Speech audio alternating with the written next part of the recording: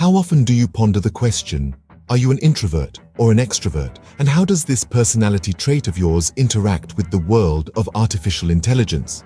Today, we delve into the intricate relationship between introversion and extroversion and how AI, specifically Chat, GPT and other AI tools designed for enhancing social popularity, play a part.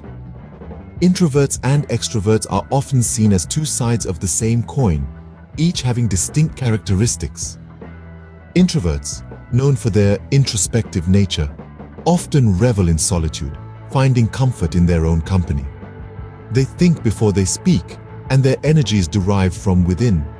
On the other hand, extroverts are the life of the party. They thrive on social interactions and derive energy from being around others. They're more likely to speak their thoughts out loud and are often seen as outgoing and enthusiastic.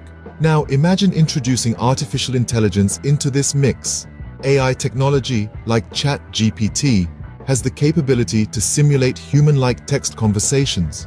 It can mimic both extroverted and introverted conversational styles based on the data it's trained on. An AI can engage in a deep, thoughtful conversation like an introvert, or it can be lively and enthusiastic like an extrovert.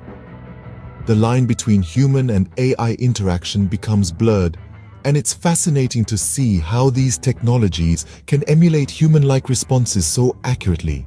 But there's a darker side to this AI technology, particularly when it comes to social media popularity. AI tools are now being used to artificially inflate social media engagement, creating a facade of popularity. They can generate likes, comments and shares, mimicking human interaction almost perfectly. This, in essence, is fake popularity, a hollow echo of genuine human interaction. But why is this cause for concern? Because authenticity and personal growth are at stake. The illusion of popularity can lead to a distorted self-image, and the pressure to maintain this illusion can be overwhelming. The authenticity of interactions dwindles as we become more reliant on these AI tools, and this can stunt personal growth. So, What's the takeaway from all this? It's crucial to understand the characteristics of introverts and extroverts and how AI can mimic these traits. But it's equally important to be aware of the potential pitfalls of artificial popularity and the value of authentic interactions. Personal growth comes from genuine experiences and interactions, not from artificial likes and shares. Remember, it's not about whether you're an introvert or an extrovert or how many likes and shares you have on social media.